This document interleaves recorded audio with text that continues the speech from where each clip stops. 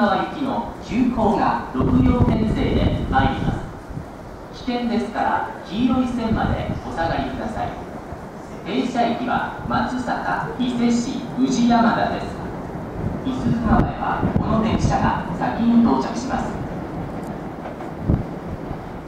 当駅の改札内は喫煙コーナーを除き終日禁煙です。